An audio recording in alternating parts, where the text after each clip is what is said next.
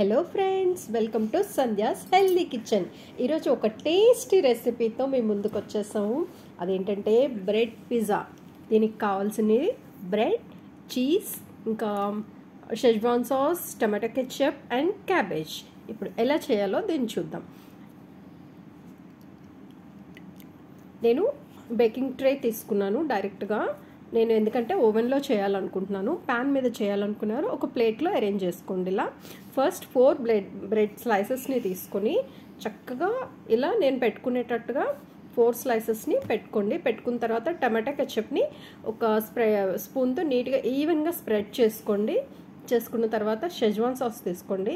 సాస్ని కూడా ఈ four slices మీద ఇలా నీట్గా ఎక్కడ గ్యాప్ లేకుండా అప్లై చేసుకోండి. చేసుకున్న తర్వాత కొంచెం క్యాబేజ్ని సన్నగా తురుముకొని ఒక్కో స్లైస్ మీద చూడండి.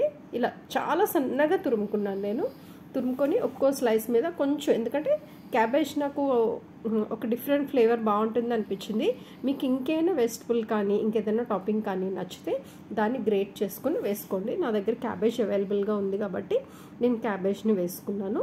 మీరు స్వీట్ కార్న్ కానీ ఇంకేదైనా మీకు ఆలివ్స్ కానీ మీ దగ్గర ఏవి అవైలబుల్గా ఉంటే దాన్ని వేసుకోండి. ఇలా ఈవెన్గా స్ప్రెడ్ చేసుకోండి. చేసుకున్న తర్వాత నేను చక్కగా చీజ్ని ఇక్కడైతే నేను అమూల్ చీజ్ తీసుకున్నానండి. చీజ్ క్యూబ్ని తీసుకున్నాను. క్యూబ్ని తీసుకొని మీకు ఏమీ టేస్ట్కి సరిపోయినంతగా చీజ్ వేసుకోండి.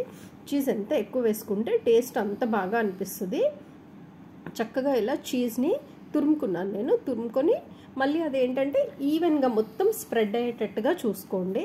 మొత్తం ఫోర్ స్లైసెస్ మీద చీజ్ ఇలా ఫుల్గా స్ప్రెడ్ అయ్యేటట్టుగా చూసుకోండి. ఈ చీజ్ వేసిన తర్వాత నేనేం చేశానంటే నా దగ్గర చికెన్ ఫ్రై కొంచెం అవైలబుల్గా ఉంది. అందుకని పైనుండి చికెన్ పిజ్జాలా టేస్ట్ అనిపిస్తుంది అని చెప్పని ఆ ఫ్రైని చిన్న చిన్న పీసెస్గా చేసేసి వేసుకున్నాను. ఎవరి దగ్గర అయినా ఆలివ్స్ ఉన్నా లేదు కార్న్ ఉన్నా ఇంకా మీ దగ్గర ఏదైనా అవైలబుల్గా మీరు ఆ టేస్ట్ కావాలి అనుకుంటే వేసుకోండి. నేను ఆల్రెడీ ఈ చికెన్లోనే కొంచెం పెప్పర్ అరిగాను అది కూడా వేసుకున్నాను. సో మీరు కూడా పైనుంచి పెప్పర్ అరిగాను అది కావాలనుకుంటే వేసుకోండి. నేను పైనుంచి కొంచెం కొత్తిమీర కూడా వేసుకున్నాను. బేజిల్ కానీ ఇంకైనా మిక్స్డ్ హర్బ్స్ కానీ ఉంటే మీరు దానిపైనుంచి వేసుకోండి. నా దగ్గర అవేమీ అవైలబుల్గా లేవు. ఇంకా అందుకని నేను కొంచెం కొత్తిమీర పెప్పర్ సాల్ట్ వీటిని మాత్రమే స్ప్రెడ్ చేసుకున్నాను. చేసుకొని ఇంక ఇప్పుడు దీన్ని బేక్ చేసుకుందాం. యాక్చువల్గా తవా మీద చేయాలి అనుకునే వాళ్ళు ప్యాన్ని కొంచెం సేపు ఒక్క ఫైవ్ మినిట్స్ మీడియం ఫ్లేమ్లో వేడి చేసుకోండి.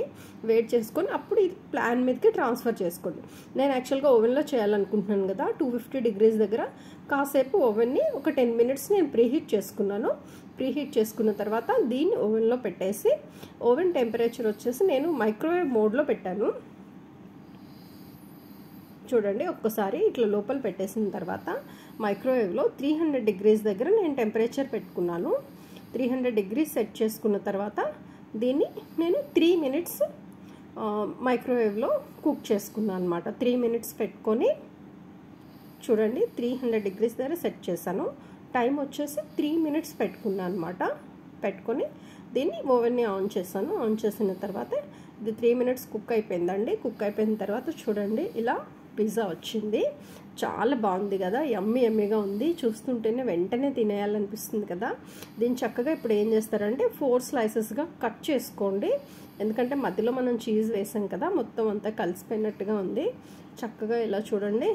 కట్ చేసుకొని ఏ స్లైస్ కా స్లైస్ సపరేట్గా కట్ చేసుకోండి. ఇంకా మేమైతే ఒక్కో స్లైస్ని మధ్యలో కూడా టూ పార్ట్స్గా కట్ చేసాము. ఇలా కట్ చేసుకున్న స్లైస్ని ఒక ప్లేట్లో సపరేట్గా సర్వ్ చేసుకోండి. చూడండి నేను ఇక్కడ సర్వ్ చేసి చూపిస్తాను. దీన్ని తీసుకోండి. తీసుకొని ఇలా ఒక్క పీస్ని మీరు సర్వ్ చేసుకోండి. Tasty tasty bread pizza ready. మీరు ట్రై చేసి చూడండి. చాలా బాగుంటుంది. మీకు కూడా ఎలా వచ్చిందనేది నా కామెంట్స్లో చెప్పండి. Please share and subscribe my channel.